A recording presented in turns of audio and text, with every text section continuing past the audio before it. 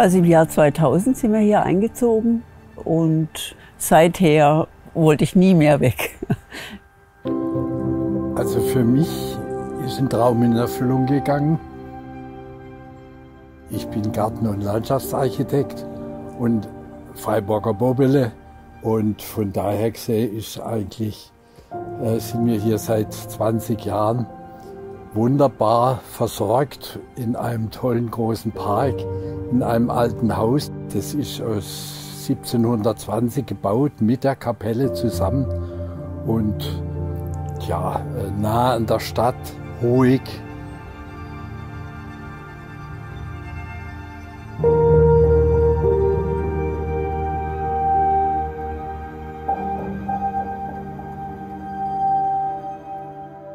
Ja, hier ist unser Entree, unser äh, Gästezimmer auch. Das können wir ausziehen, dieses Sofa. Und dann haben wir hier einen Schwedenofen. Und dieser Teil, der ist jetzt für unsere Arbeit. Ganz am Anfang habe ich probiert, tatsächlich irgendwo so einen Atelierraum äh, zu mieten. Da gab es ein paar Möglichkeiten in der Nachbarschaft. Aber das hat sich dann zerschlagen und ich bin Gott froh, dass ich hier geblieben bin. Weil da ist Ruhe, da ist, äh, da kommt man zu sich und da ist Mitte und das brauche ich.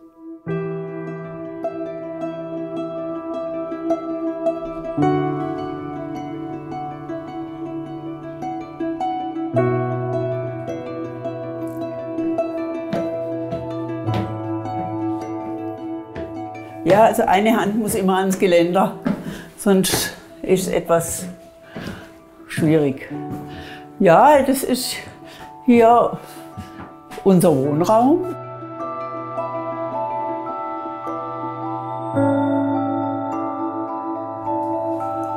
Und hier geht, geht mein Blick in die tiefe Richtung Stadt.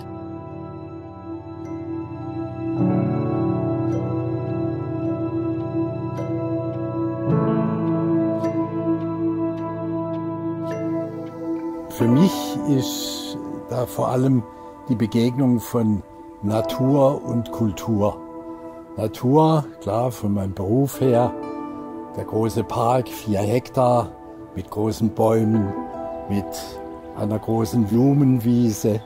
Im Frühjahr die Zwiebelpflanzen, die Krokusweiden.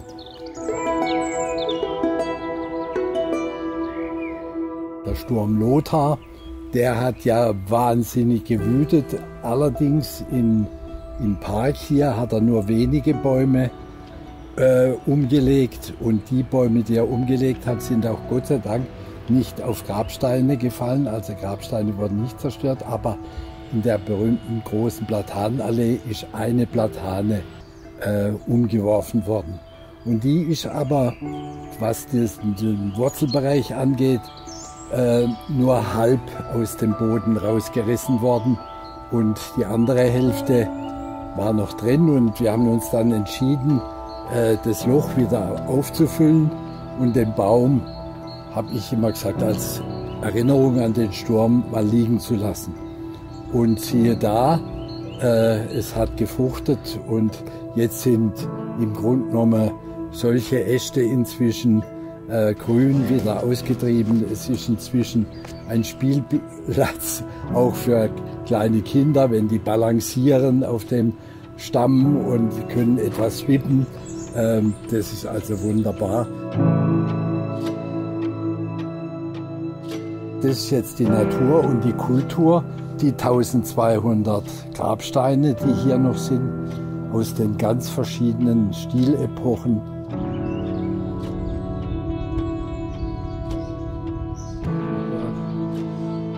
Und die Kapelle natürlich barock, 1720 gebaut.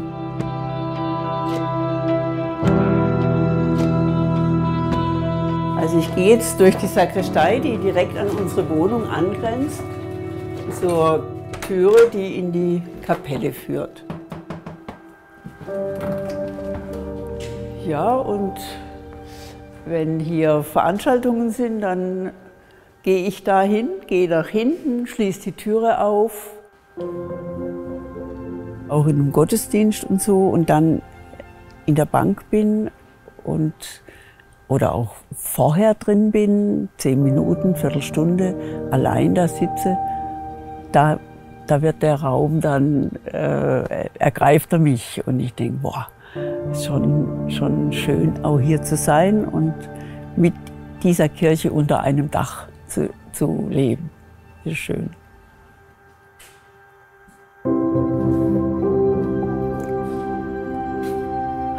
An diesen äh, Grabstein, den äh, finde ich sehr berührend, den Spruch, der da äh, steht.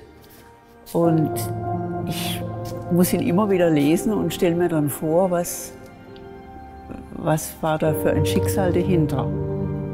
Da steht, ihr, die ihr ein geliebtes Kind ein einziges beweint, kommt, unseren Schmerz zu lesen.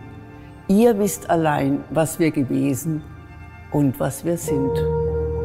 Also in dieser Kapelle waren schon viele Leute, mit, die geweint haben und getrauert haben. Und jetzt wird mehr gespielt, gesungen, ähm, gefeiert, sich gefreut oder aber man darf nicht vergessen, was da der Ursprung ist. Und ich denke auch, das sitzt noch ein Stück weit in, dieser, in diesem Raum.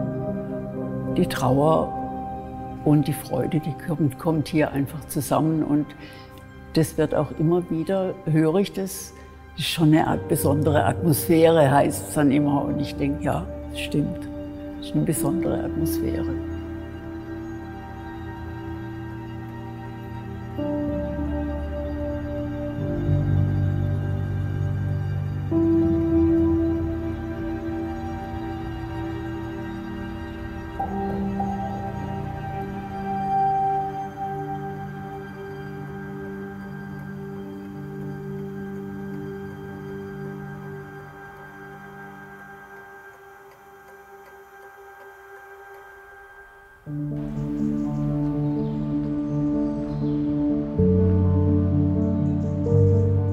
Also was die Ruhe angeht, äh, die findet ab im Sommer ab 8 Uhr abends statt. Da gibt es einen Schließdienst, der von der Stadt Freiburg organisiert ist und alle sechs Tore werden da abends abgeschlossen und morgens um 7 Uhr wieder aufgemacht.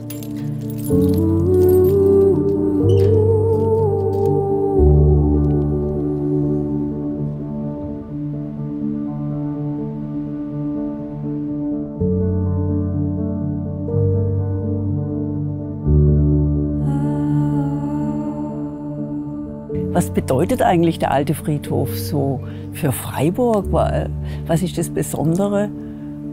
Und da fiel mir ein, also, dass es schon eine, eine Achtung und Ehrerbietung den Toten gegenüber ist.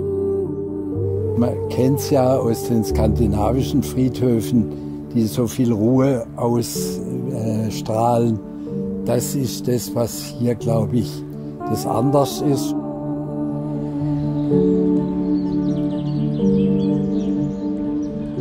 Ich freue mich drüber, wenn, wenn der Friedhof so angenommen wird und wichtig ist für, für die Leute, die hier auch spazieren gehen.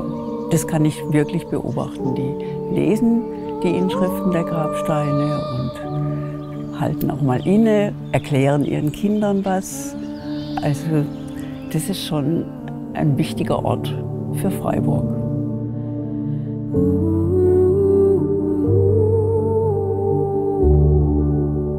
Ganz schön finde ich natürlich, dass wir beide hier unseren Lebensabend verbringen können. Wir haben Goldene Hochzeit schon hinter uns und hoffentlich ist noch lange äh, möglich.